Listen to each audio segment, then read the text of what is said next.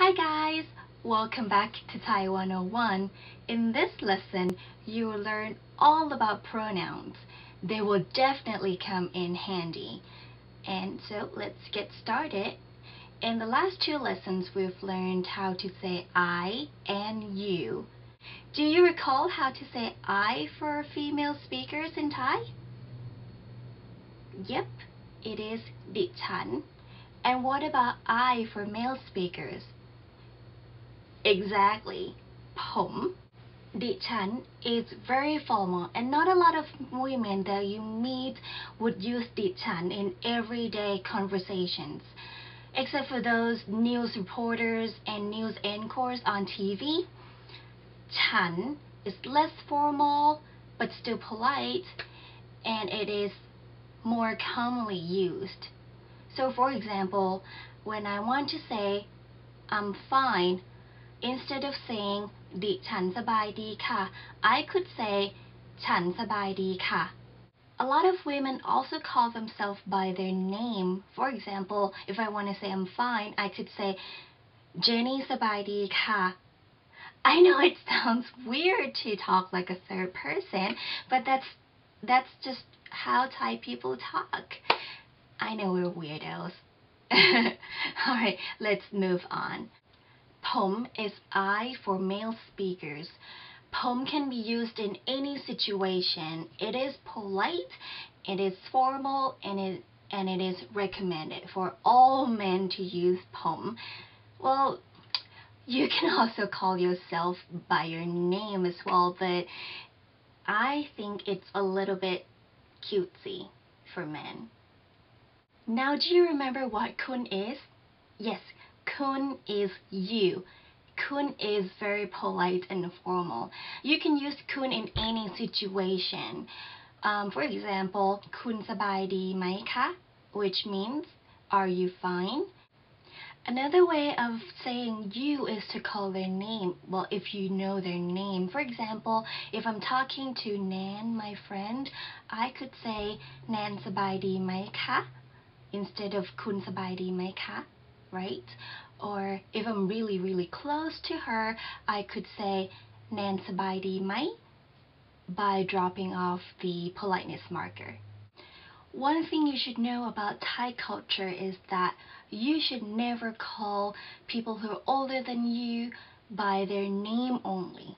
For example, if I'm talking to June, who's older than me, I should never say June sabai di mai ka. It is impolite disrespectful, and rude. Instead, I add P in front of her name. I know P sounds disgusting in English, but in this case, P means older sister or older brother. So if I say P June, it means sister June, basically. Alright, so I should say พี่จูนสบายดีไหมคะ or if I'm really, really close to her, I could say P June sabai di mai without the politeness marker. But it is better to use politeness marker. I use politeness marker most of the times, most of the times, because I want to be polite. Now, how about those people who clearly old enough to be your auntie or uncle? What do we call them? Well, you can always call them kun you, kun, but it is a little too formal. Like when you talk to a taxi driver, your hairstylist, fruit seller, it is a little too formal for everyday conversations. So you can call them P as well, and they will probably be very happy if you call them P, which means older sister older brother, because that means they're still young. You might probably get some discount by calling them P. Um, but the word auntie or uncle in Thai is na, na.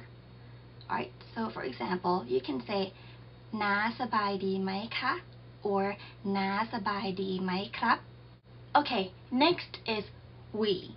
We is พวกเรา in Thai พวกเรา พวกเรา For example we're fine พวกเราสบายดีค่ะ or พวกเราสบายดีครับ Next is he or she.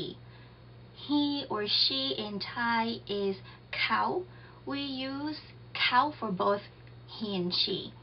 For example, he or she is doing fine. We say เขาสบายดีค่ะ or เขาสบายดีครับ And the last pronoun is they.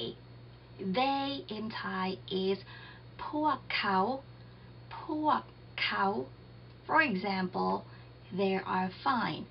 พวกเขาสบายดีค่ะ พวกเขาสบายดีค่ะ or พวกเขาสบายดีครับ I hope you find this lesson useful and keep practicing. You will master Thai in no time. And again, if you have any questions, don't hesitate to ask. I say that at the end of every video because I'm willing to answer any questions regarding Thai language and Thai culture. Please leave comment on the comment box and yeah, I will see you next time. สวัสดีค่ะ